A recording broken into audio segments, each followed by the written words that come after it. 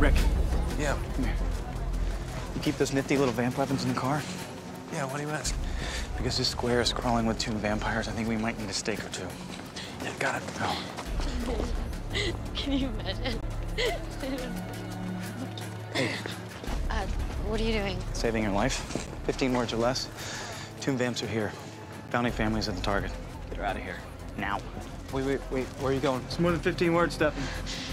Wait, Jeremy's out here somewhere.